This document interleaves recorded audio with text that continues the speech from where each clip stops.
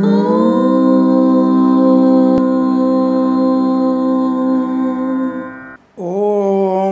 శ్రీ గురుభ్యో నమ.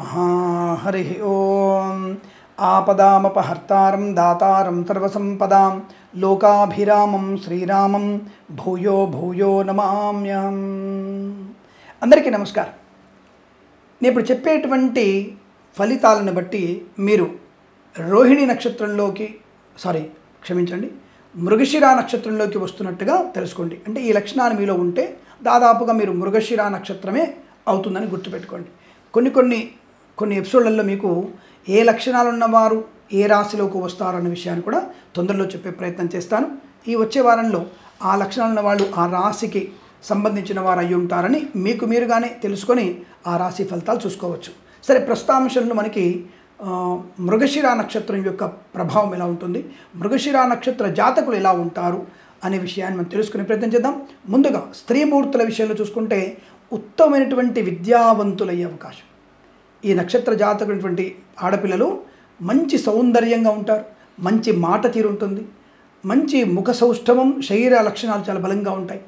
ఆధ్యాత్మిక చింతన కూడా చాలా బలంగా ఉంటుంది. వివేకవంతమైన సిద్ధి ఉంటుంది. విదేశాలకు వెళ్ళగలిగేటువంటి ఆలోచన కూడా వీరికి ఎక్కువగా ఉంటుంది. విద్యా సంపన్నత ఆనంద యోగం. చాలా చక్కని మాట తీరు. ఎప్పుడు కూడా ఆనందంగా ఉంటారు వీళ్ళు. ఏ విషయంలో కూడా ఆనందమయ జీవనాన్ని పొందుకుంటారు.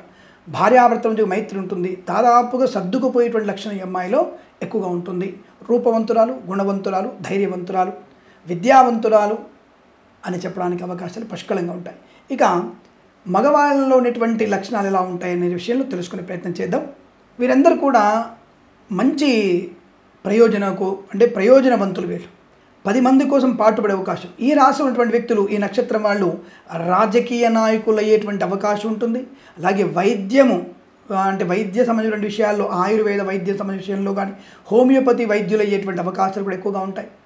అలాగే వివాదాలకి దూరంగా ఉండేటువంటి అవకాశం కూడా ఉంటుంది. కానీ కష్టపడి పనిచేసేటువంటి మనస్తత్వాన్ని కలిగి ఉండేటువంటి అవకాశాలు ఉంటాయి. అంటే వివాదరహితులు. అజాత శత్రువులు అనవచ్చు అందుకే రాజకీయ రంగంలో మంచి పేరు ప్రఖ్యాతులు పొందుకుంటారు. ఎంత ఎదిగినా ఒదిగినట్టు ఉండేటువంటి మనస్తత్వం ఈ రాశి వారికి ఎక్కువగా ఉంటుంది. ఏ పనైనా సాధించగలిగేటువంటి అవకాశాలు ఇచ్చిపుచ్చుకుంటారు అంటే ఏ సాధించగలను? ముందు బాధ్యతల మీద వేసుకుంటారు. అందుకే ఆ పనిని సాధించే వరకు నిద్రపో నిద్రపోరు అన్నట్టు విషయాన్ని గుర్తుపెట్టుకోండి. ఐశ్వర్యవంతులు. అంటే సరస్వతి ఎప్పుడైతే ఉంటుందో వాడి దగ్గర ఐశ్వర్యం ఉంటుంది ఖచ్చితంగా. ఇప్పుడు సరస్వతి మన ఉంటే లక్ష్మి తనంతకు తానే మన దగ్గరికి వస్తుందట. కాబట్టి ఈ వీరు సరస్వతి పుత్రులు కనుక వీరికి లక్ష్మి కూడా కటాక్షాన్ని పూర్తిగా పొందుకుంటారు. మంచి గృహయోగాలు కలిగిన వారు విద్యావంతులు మరియు ఉద్యోగవంతులు. వ్యాపారం చేసే అవకాశం ఉంటుందంటే వీరికి న్యాయవాద సంబంధమైనటువంటి వృత్తిలో ఉండే అవకాశం. అంటే ఒక న్యాయవాదులందరూ కలిసి ఏదైనా సంస్థ ఏర్పాటు చేసుకొని దాంట్లో ఒక వ్యాపార పరంగా ముందుకెళ్ళగలిగే అవకాశం కూడా ఖచ్చితంగా ఉంటుంది. అందరూ అనుకుంటారు ఇన్ని మంచి లక్షణాలు ఉన్నాయి కదా కోపం ఉండదు అనుకుంటారు. చాలా కోపిష్టి. రుద్రతాండం ఆడేటువంటి వ్యక్తులు వీళ్ళు. కనబడరు కాని పైకి రుద్రతాండం వాడతారు. తల్లి మీద అమితమైన ప్రేమ ఉంటుంది తండ్రి మీద గౌరవాన్ని పొందుకునే అవకాశాలు ఉంటాయి. ఏ పనైనా సరే ఆలోచించి ముందడుగు వేసే ప్రయత్నం చేస్తారు. ఆ పని అయ్యేంత వరకు నిద్రపోరన్నట వీళ్ళు. వీళ్ళు మనసులో ఏదనుకుంటారో అది కార్యరూపంలో పెడతారు. అంటే అనుకున్నటువంటి పనిని వెంటనే చేయగలిగేటువంటి సమర్థత వీళ్ళకి బాగా ఉంటుంది. వీరికి కష్టపడి ధనవంతులవుతారు ఇతరుల వల్ల చెడిపోయి నష్టపోతారు. మళ్ళీ తనముకు తాముగానే మళ్ళీ వృద్ధిలోకి వస్తారు. అంటే గ్రాఫ్ వీళ్ళకి ఇటు నుంచి ఇలా వెళ్ళి మళ్ళీ డౌన్ఫాల్ అయ్యి మళ్ళీ హై లెవెల్ అయ్యి జీవితాన్ని అంతిమంలో మంచి జీవితాన్ని గడపగలిగే అవకాశం ఉంటుంది. వీరికి పద్దెనిమిదవ ఏట వాహనం వల్ల ప్రమాదం. ముప్పై ఐదవ ఏట ఎడమ చేతికి ఆపరేషన్ అవ్వడం. నలభై తొమ్మిదవ సంవత్సరంలో హృద్రోగ సంబంధమైన చిన్న చిన్న ఆటంకాలు రావడం లాంటివి కలుగుతాయి. ఇవి ఈ మూడు సార్లు వీరికి గండం ఉంటుంది జాగ్రత్తగా ఉండాలి. కానీ వీరికి దాదాపుగా ఎనభై ఏడు సంవత్సరాల సంపూర్ణ ఆయుష్మంతులై ఉంటారు. ఎనభై ఏడు సంవత్సరాల ఆయుష్ ప్రమాణం కలిగి ఆనందమయ జీవనాన్ని అన్యోన్య దాంపత్యాన్ని పుత్రవంతులుగా అంటే మంచి సంతాన యోగాన్ని పొందుకొని పుత్రుడు పుత్రికా సంతానాన్ని పొందుకుంటారు. బహుకాలం ఆనందమే జీవనాన్ని పొందుకుంటారు. కష్టపడి మనస్తత్వం కాబట్టి అందరిలో మన్ననలు పొందుకునే అవకాశం కూడా బలంగా ఉంటుంది. మంచి భోజన ప్రియులు కార్యసిద్ధులు విదేశాల్లో విహరించేటువంటి అవకాశాలు అనేక రకాల బహుమానాలు అందుకోవడం అనేక మందికి దాన ధర్మాలు చేయడం చేయడంలో కూడా మీరు మంచి ముందడుగు వేసి ఉంటారు.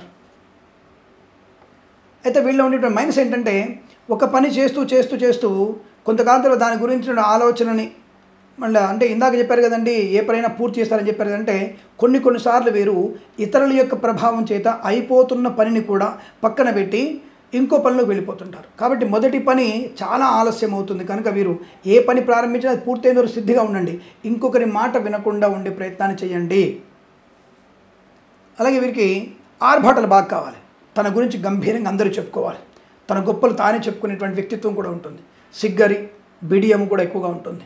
అయితే ఇతను వ్యాపారపరంగా మంచి ఉన్నత స్థాయిలో చేరిన అవకాశం కుటుంబ సౌఖ్యం ఉంటుంది మంచి విద్య అలాగే వాహన సౌఖ్యంతో పాటుగా మంచి ఆరోగ్యవంతులు ఆయుష్మంతులు ఉన్నారు. స్త్రీ సౌఖ్యం బాగుంటుంది ప్రేమ వ్యవహారాలు ఉంటాయి కానీ ప్రేమించిన వ్యక్తితో వివాహం జరిగే అవకాశం మాత్రం ఉండదు. ఈ విషయాన్ని గుర్తుపెట్టుకోండి. అనవసర ఆర్భాటాల కొరకు అంటే పక్కవాడికి లవర్ ఉంది కాబట్టి నాకు లవర్ ఉన్న భావన అయితే పక్కవాడికి పక్క అమ్మాయికి లవర్ ఉంది కాబట్టి నాకు లవర్ ఉన్న భావన కూడా వీరికి ఉండేటువంటి అవకాశం ఉంటుంది. అటువంటి ప్రేమ వ్యవహారాలు వీరికి సూటబుల్ కాదు సక్సెస్ అయ్యేటువంటి అవకాశాలు లేవన్న విషయాన్ని గుర్తించండి. బట్ ఏదేమైనా స్త్రీ మూలక ధనప్రాప్తి స్త్రీ సౌఖ్యాన్ని పొందుకునే అవకాశం కూడా ఉంటుంది. బట్ అది ఎంత ఉండాలో ఎలా ఉండాలనేది మీకే వదిలేస్తున్నాను. జాగ్రత్తగా ఉండండి. వివాహం తర్వాత అనవసర అన్య స్త్రీ పరిచయం మీకు ప్రమాదాన్ని కలిగిస్తుంది. అటువంటి వాటికి దూరంగా ఉండి ప్రయత్నించండి. అనవసరపు ప్రేమ వ్యవహారాలు మీకు నష్టాన్ని కష్టాన్ని కలిగిస్తాయి. కాబట్టి జాగ్రత్తగా ఉండే ప్రయత్నం చేయండి. గ్రాఫ్ని ప్రారంభం నుంచే డెవలప్ చేసుకుంటూ వెళ్ళే ప్రయత్నం చేయాలంటే ఏం చేయాలండి? తప్పకుండా వీరు భగవన్నామ స్మరణ సంప్రదాయపరమైనటువంటి వ్యవస్థను అనుసరించడం పెద్దల యొక్క మాట వినడం వల్ల ప్రయోజకులు అవుతారు. వీరికి ప్రయోజనం బాగా ఉంది. కానీ ఒక్కొక్కసారి రాహు దశ కానీ రాహు అంతర్దశ కానీ శని అంతర్దశ కానీ వచ్చినప్పుడు వీరు కొంత ఇబ్బంది కలిగే సూచనలు కనబడతాయి. కనుక కాస్త ఎమరుపాటుగా ఉండే ప్రయత్నాన్ని చేస్తే మంచిది. ఏదేమైనా వీరు తప్పకుండా ఇంటి ఇలవేల్పుని ఎక్కువగా పూజించడం వల్ల దానితో పాటుగా గణపతిని అమ్మవారిని ఆరాధించడం వల్ల అష్టైశ్వర్య ప్రాప్తి పొందుతారు. కాబట్టి ఈ నక్షత్రం వారు. ఈ లక్షణాలు ఉంటే తప్పకుండా మీది మృగశిర నక్షత్రమే అనేటువంటి భావాన్ని పెట్టుకోండి. దాని ఫలితాలు చూసుకునే ప్రయత్నం చేయండి. శుభమస్తు అఖండ ఐశ్వర్యమస్తు ఇలాంటి అనేకమైనటువంటి విశేషాల గురించి మన ఛానల్ని సబ్స్క్రైబ్ చేసుకోండి. ఇంకా ఇంకా మీకు అనేక విషయాలు తెలియజేసే ప్రయత్నం చేస్తాను. శుభమస్తు నమస్కారం.